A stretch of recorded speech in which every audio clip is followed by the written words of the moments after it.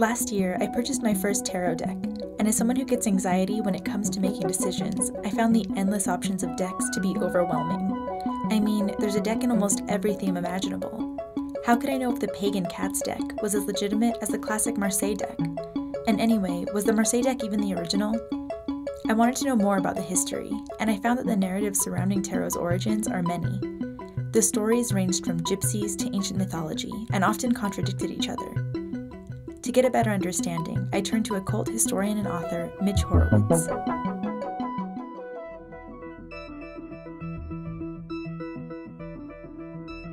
The earliest decks that we know of showed up in the early 15th century in northern Italy. And they were treated as a game, and we know this because there are manuscripts, catalogs, diaries that refer to this early card game with these trump images images of Pope, images of the Empress, images of death, images of the fool, things that we come to associate with tarot cards today. In its earliest iteration, tarot was an ancestor to our modern game of bridge. So the origin story wasn't exactly as exciting as what I was expecting. What I thought would be an ancient tale of ageless wisdom actually turned out to have started as a parlor game. What people fail to understand is that games and passion plays and art, stained glass windows and other imagery were serious business during the Renaissance. When someone spoke of a game during the Renaissance, they didn't mean it like we mean Monopoly or Twister today. Then tarot traveled to southern France, and people in southern France who were more interested in the early Renaissance in revived Egyptian philosophy and in ancient Hermetic philosophy began to imbue the deck with certain images of their own or began to change certain images and their meanings. The idea was that these were communicating some sort of inner or spiritual development. By the early 1500s, Marseille had become the center of tarot production, and over the next few centuries, the ancient and mystical narrative surrounding tarot became solidified in the public mind, as various occultists and authors developed theories linking the deck and its images to ancient symbolism, often without any historical evidence. One of these occultists was Eliphas Levi. In 1854, he published a book called The Doctrine and Ritual of High Magic. And in that book, for the very first time, this being the mid 19th century, he began to associate tarot with the letters of the Hebrew alphabet, with Kabbalah, with planets, with elements, with zodiac signs. So people walk around today with this notion that tarot is an ancient Egyptian mystery book that always had these correspondences to the elements, to the celestial bodies, uh, various alchemical symbols, uh, to the Hebrew alphabet, uh, to the tree of life in Kabbalah. This was a mid 19th century invention. It doesn't mean there's not profundity to it, and it doesn't mean there aren't insights to it. Traditions have to start somewhere. They don't just fall from the sky. And that tradition, to a very great extent, started with Eliphas Levi in the mid 19th century. I was beginning to understand how the decks became associated with so many mystical schools of thought. As a self aware species, we constantly try to define our existence, and this often means prescribing deeper meaning to things in order to understand ourselves. But I was still curious how the cards began to be used as a means of fortune telling and divination.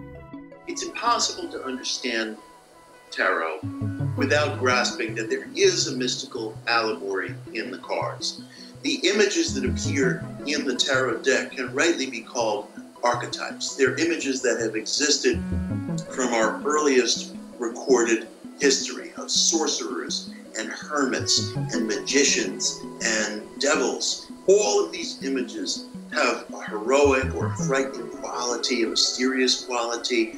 They are primeval images. They are images not unlike some of the earliest human paintings that you'll find on cave walls, for example. Any tarot deck that you purchase today will be made up of 78 cards. This includes 56 minor trumps, or the minor arcana. It's made up of some variation of four suits wands, cups, swords, and coins. Each of these suits are numbered 8 through 10 and also include four court cards a king, a queen, a knight, and a page. But the major trumps, or major arcana, are what really make the deck. It's made up of 22 allegorical images that many associate with the human journey. Taking a look at the same major trump from several different decks, you'll notice the richness and detail that each individual card takes on. Even the minor trumps contain vibrant and suggestive images, but it wasn't always this way.